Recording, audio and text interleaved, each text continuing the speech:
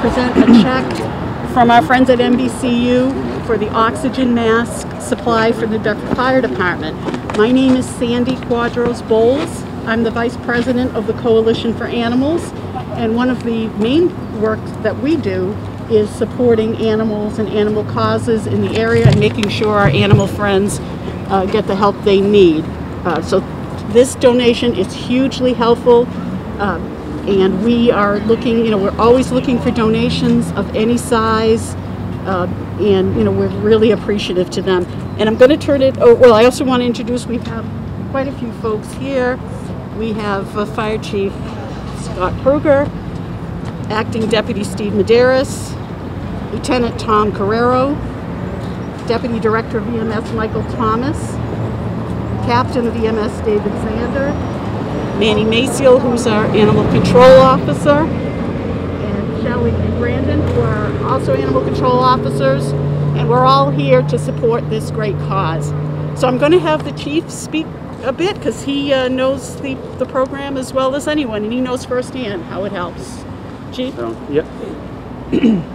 uh, thank, thank you very much. Thank you very much, Sandy. We appreciate it. Uh, thanks for all being here. This is a great, this is a great cause this morning. It's a great, it's a great cause anytime. But I just want to thank uh, the New Bedford Credit Union for uh, for stepping up and uh, being able to donate, you know, thousand dollars towards pet rescue, uh, this pet rescue equipment to resuscitate uh, any uh, domesticated animals that are stricken from a house fire, not only fire but also smoke, and the whole the whole incident that played out on Sunday, on that Sunday morning on County Street. It's really a group effort, and it starts with you know, the firefighters going inside.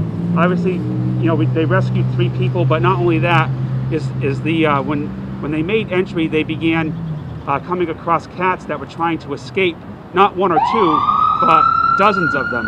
So they began rescuing uh, the cats and bringing them outside. yep. so it was, it, it became readily apparent in a short amount of time that it was kind of like an animal mass casualty incident. So it became a, a group effort between uh, our firefighters that were outside, uh, New Bedford police officers, also all of the paramedics that were standing by there. Mike, uh, Deputy Director Thomas was there as well. Uh, so New Bedford EMS's para, uh, paramedics played, uh, they, they went over above and beyond, you know, assisting all of these stricken cats. Um, you know, after they finished treating the people, they came back to the scene and they spent hours taking care of cats. Also, you know, the cats have to get, they had to get to the, vet, uh, the veterinarian some way, and that animal control, uh, they transported cats uh, as far away as Rhode Island uh, so they could be uh, further cared for. So just the sheer volume of them, you know, was 60, was about 60 of them altogether. I think we saved uh, 25 of them, which is, you know, I wish we could have been more, but, you know, we did, everybody did the best they could. So uh, both departments, EMS and fire, had a limited supply of uh, pet resuscitation equipment uh, available on that morning. Uh, up until that point, we had a few kits available to us. What we would do is every time we would use them, we would disinfect them. Because of the sheer amount of, of cats that were there, uh, we ended up exhausting all of them. They ended up going with animal control. So now they we have to find a mechanism to replace them. So fortunately, the credit union stepped up and they're able to replace them uh, for both fire and EMS. Uh, so I just want to say that, you know, there's there's two other parts to this. One is is like the, the medical treatment part of it is that, you know, animals have a smaller body mass, especially cats. So they're more prone to suffer uh, from carbon monoxide poisoning, which is obviously smoke is full of carbon monoxide. So just like small children or small people, they get uh, carbon monoxide poisoning a lot faster than, than uh, adults do just because of bo their body mass is smaller and they tend to breathe faster. So they will succumb to smoke inhalation uh, very quickly. So that's why I'm able to treat them with high flow oxygen using this equipment. So, and also on the human aspect of it is that, you know, people, people are experiencing the worst day of their life. They, sometimes they've lost their home, they've lost everything. So if we can save their pet, then at least that's one thing that they they still have. They still have their, their family pet especially if they have children whether it's a cat dog or whatever. If we can save that pet uh, it makes it makes that day a little bit brighter uh, on, on like I said a very bad day. So not only and I can speak as far you know for for New Bedford EMS obviously, you know, we treat people, tr- treating patients on a daily basis, that's our thing. But when we can save uh, animals at any time, and especially uh, when they're victims of a house fire, uh, that's what we're there for, is, is uh, protect life and property. So just want to say thanks for all being here. Thanks to the credit union. Um, I asked Sparky if he wanted to say a few words today, but uh, he declined. He's a dog of, of very few words. So, uh, so thanks to everybody. We appreciate it. Um, thank you. And now I'd like to introduce Berta Vareo. She's the president and CEO of NBCU, and her great company has helped us out, and she'd like to say a few words. Thank you, Sandy. And I'd just like to introduce our chairman of our board here to my right, Jim Allen, our treasurer and clerk behind me. This is Tom Carrero. And we're proud to support the Coalition for Animals. And I'd also like to thank our fire department, EM, EMS. They're our, our true community heroes. Again, we're glad to be part of this. Um, and we're hoping that this will encourage other communities um, in, in our surrounding towns and cities so that they will also contribute and donate to such a worthy cause. So thank you again.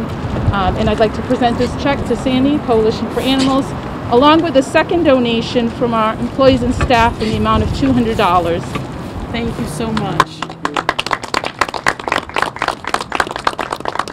And I want to say that this is so special, but it's also so special that the employees themselves contributed because it's also proof that any donation you make, no matter the size, helps tremendously.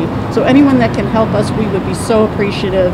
Um, and again, thank you so much to NBCU for this. This is great.